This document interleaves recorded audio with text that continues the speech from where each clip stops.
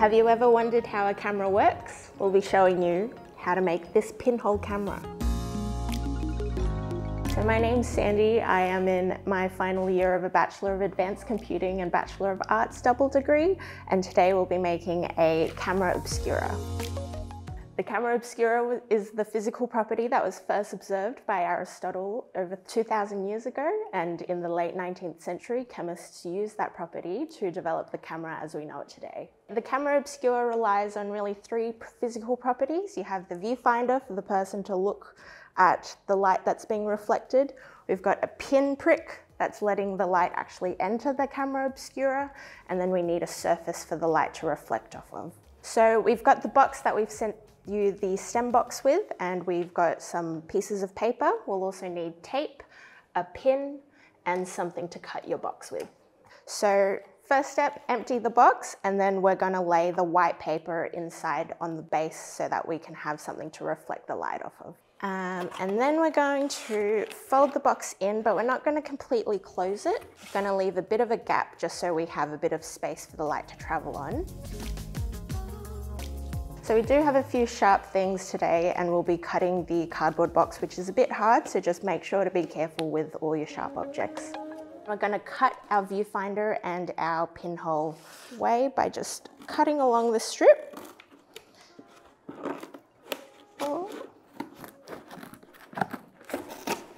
And once we've got our rectangle, we're going to sort of tape it all together. So we're using really opaque tape today so that we have no light leakage into the camera obscura as we try and see what the pinhole's actually letting us see. So after we've taped up the rectangle that we cut out, we will just have to cut out a little viewfinder just so we can see through the camera obscura. As we're finishing up the taping, we'll just make sure that we're sealing all the, all the spaces so that we have no light leakage.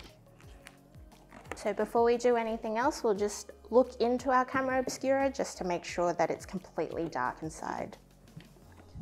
Once it's completely dark, we're gonna create our pinhole camera. Make sure that it's sort of able to let light in. So take it outside, see what you can see. Um, what do you notice about the picture inside? Is it flipped? Can you explain why maybe? Look for bright things. We've got a beautiful day today, so the blue sky is coming through really well. Um, maybe look at some bright buildings, see if you can make them out through the images.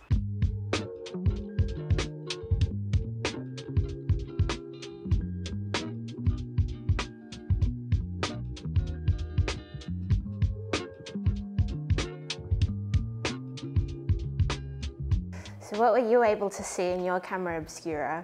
Did you manage to see the blue sky as we did? How it's working is the light is going through the pinhole that we created and it's actually flipping and reversing the light. So the light at the top is going down to the bottom of our image and the light from the bottom is going up, which is why it's reversed.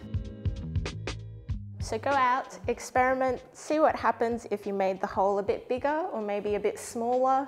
See what happens if maybe you made the camera obscura a bit wider, what happens to the image, and maybe see if you can relate it to how cameras work.